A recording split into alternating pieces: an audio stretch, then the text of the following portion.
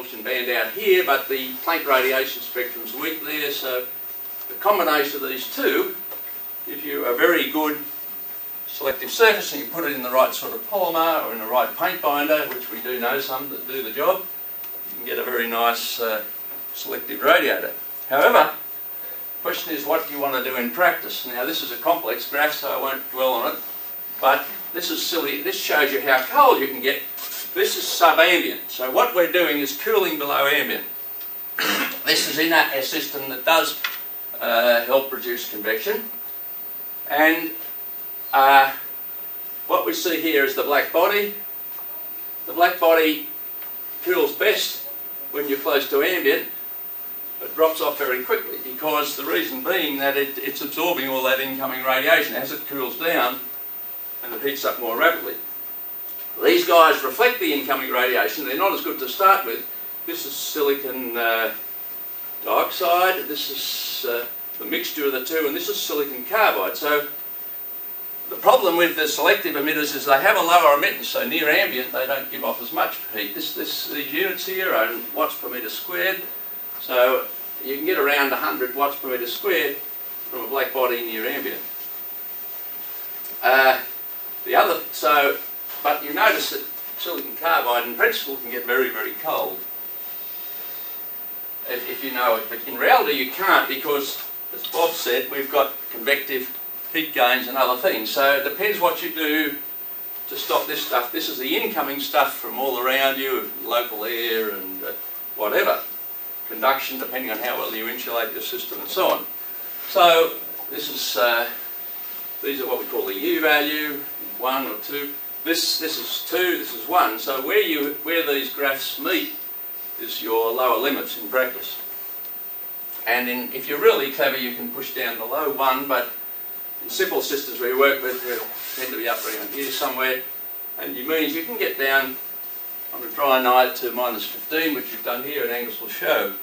But uh, there are other practical issues which will, will, come up later in the talk. So, this is about a turnover point for me. I've focused on the basics.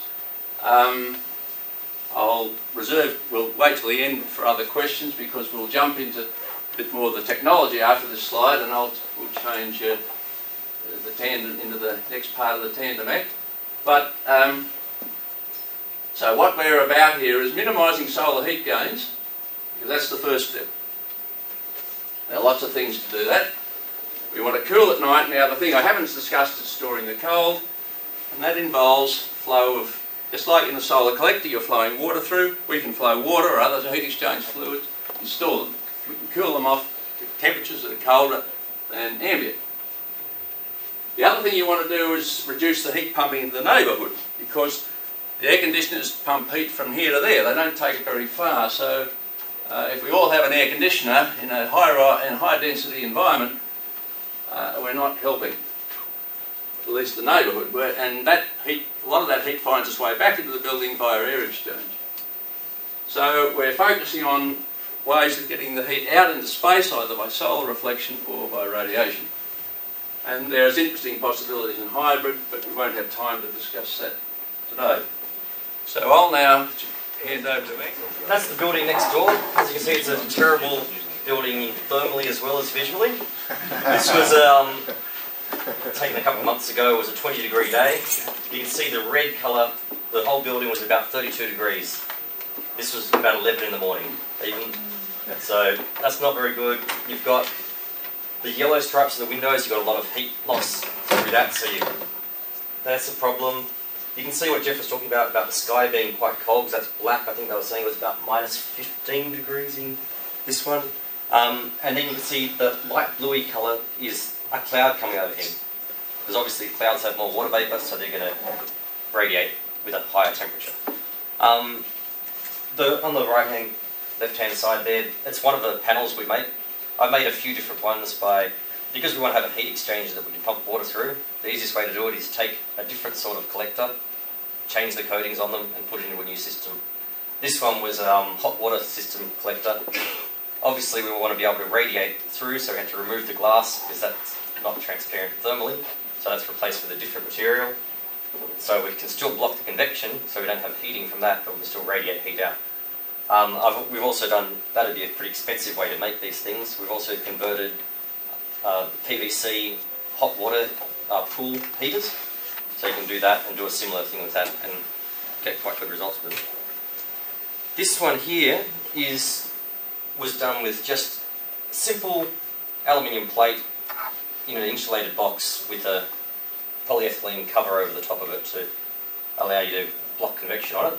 And you can see that the red one here, the reason it started off warmer than ambient was because I had it inside the building, took it outside, and it started there. And very, very quickly it dropped down below ambient. So you can see ambient's around 13 degrees. Within 15 minutes, we're at zero, and we, at this point, the dew point was about 1 to 2 degrees. We'd started creating ice on the surface. This was about, was it 4.30 in the afternoon, 5 o'clock. As this was on the Friday afternoon, I was like, well, I would go home, but I want to see how much ice is creating. So I stood around and I saw some bubbles of ice there. Um, but you can see here, through the daytime, it's not heating up above ambient at all. All we have to stop the sun on it is a, we just put a deflector on the northern side of it, so we just have it in shade through the day, but you're still getting 150 watts of sunlight onto that onto a panel if it's in the non-direct sun. But we are still maintaining below ambient. And one of those ones is the blue line is a high emittance material, whereas the red one is one of these selective emitters Geoff was talking about, which only radiates through the sky window. And so, because we're significantly below ambient temperature, those ones are performing better. So we're actually able to get to an even colder temperature than the black body could get to by a couple of degrees. so I'll mainly talk about high emittance surfaces because it's a lot simpler to go through. Um, so we do a few things. We make samples, test systems, and also do modelling of it all because you want to be able to compare your results and then test whether a new surface you're going to make is going to work well. And you want to be able to compare it in different climates throughout the world. So the easiest way to do it is you can get data called the IWEC data, which is International Weather for Energy Calculations, and it has some really helpful data in it, including the downwelling infrared radiation from the atmosphere, which includes the so you'll that includes the water vapor content, the clouds, and everything. So it makes these calculations a lot simpler for a black body calculation.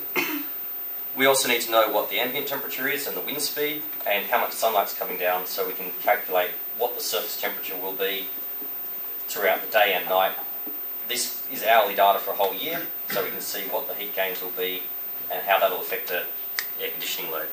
And so we, it basically solves the equations for the external convection, radiation, and incoming using the natural and forced convection. Um, for these ones, because you want to simplify the model for air-conditioned buildings, you have it as a, as a 24-hour air-conditioned building, which a lot of commercial buildings are, for single-story ones, so you can have a maintained internal temperature. Because you've got a known R value of a building, you can do the temperature gradients across it to work out what your heat flow will be and how your new surface will affect the building loads. we have to put one equation in for a bit of fun. If you don't have the IWEC data, you can actually calculate what the down, how much infrared heat is coming down. People have sat down and worked out equations for including the cloud height, the amount of cloud cover, and everything. So if you're unlucky enough not to be able to get the full data, you can get it from the State Bureau of Meteorology stuff, put it into this, and then calculate what you're looking up to do. This is basically showing you how hot a roof will actually get. I'm comparing three different sorts of roofs there. Um, one's a standard white roof, like down on the Maritime Museum. That one it looked nice and bright white, but as a solar reflector, it's still only 50%. And so most Colorbond ones are around that sort of thing. They've got new products out which are 77%, which is great because that's going to make a big difference. But they're not old buildings, obviously. Um, galvanised roofs, after they're a few years old, they'll start off with a higher reflectance and lower emittance, but after about three years, they average out to about R half and a, and a in-between emittance. Or you can compare it to a new roof with the new cool roof with a higher reflectance and high emittance and see the significant temperature differences. So a metal roof, you'll be up at around 68 degrees. This is for a summer's day. This is a Sydney summer day. It was like December 1st or something like that. Um, just having a standard white roof because of the higher emittance means you're going to be dropping 10 degrees. But if you have a slightly higher emittance again and a higher reflectance, your roof's only getting to 35 degrees. So that the effect of that onto your building's heat load is going to be very significant. That's the daytime. If you're looking at night time, you'll see ambient here is about 23 degrees. With the cool roof or the standard roof, because the emittances are similar, they're both below ambient because of this night cooling effect. A galvanized roof doesn't get as low because it can't radiate out as much heat. These, the limit of this is obviously the natural convection flowing past it and maintaining the temperature. So we can split it up into the different parts. You've got the sun heating through the day. The standard roof is going to be a lot higher because it's absorbing a lot more sunlight. So 550 versus 150. And then, interestingly, because it's a hotter temperature, obviously it's going to be convecting more heat away and radiating more heat away. So these numbers are higher than they are for a cool roof, but when you sum the two together, the cool roof is absorbing less heat into the building. As you can see up in this top corner here, the cool roof is only gaining 7 watts per square metre at peak, as opposed to a standard roof which is 23 watts per square metre. So it's a 70% less heat going to the building at your peak daytime. In the night, they're fairly equivalent because they've got a similar emittance, but in the morning you'll see there's a difference here because the emittance is higher and the reflectance is higher. The, you'll see that the convection and radiation at night balance each other out pretty well. The slight difference is the difference which is going into the building. And so you do this over the year, you'll get some days that are more cloudy, so you won't be getting as much radiation. You'll get more, some days are more windy, you'll get that. So it's important to take typical meteorological meteorological data for wherever you're going to be doing it. Because if it's in Darwin, you'll have some time of the year where you'll be able to radiate really well. Other times it's going to be rainy and cloudy, so it's not going to work as well. Whereas if you're in Melbourne, you've got pretty good most of the year because they've got a nice dry atmosphere a lot in summer. So it's, it's quite interesting when you're looking at different scenarios. So how can you utilise this? You really need to be able to separate your nighttime gain, or uh, your nighttime cooling and your daytime heat load. If you just have a roof out there, yes, putting on a solar reflector is great because you're going to be able to have less heat getting into the building. But if you want to have an on-demand cooling for you want to cool a room at a particular time of the day, you need to be able to store that cold at night and then cool off the room when you want it. So if you have a pumped system where you can have an, a heat exchanger on your roof and pump it through that into a large storage tank, that's great. You can store the cold away from it and then pump it through your system when you want to. And there are systems out there that people have done that show this, they do it and it works and it cuts down their energy significantly, but it's not out there very much yet. Um, so, yeah, you, as Geoff was saying, if you want to do it with insulation, in the day, high insulation is great. At night time, you're not going to get any cooling effect, and that's a bit of a problem. The other way thing you can do, if you want to just do it simply without having to put anything externally on your building, instead of insulating directly under your roof, insulate at ceiling level instead, so then that cavity can cool at night. And if you have a fan linking the, that to your building, you can pump your cold air through it at night into the building, cool it off, and during the day you can vent, have a separate fan which is venting that. So you can start to separate the, the two loads. You want to have, obviously, a low thermal mass outside of the building, high thermal mass inside, with insulation in between.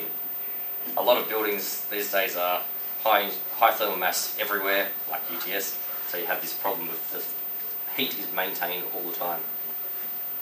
And so we call the cold you're collecting cool. This is um, a pump system we've got set up on the roof with a 3.6 metre radiator that's made from a um, PVC pool solar heater collector. I put a cover over it and put some insulation behind it so it's just a panel I can mount on a wall. on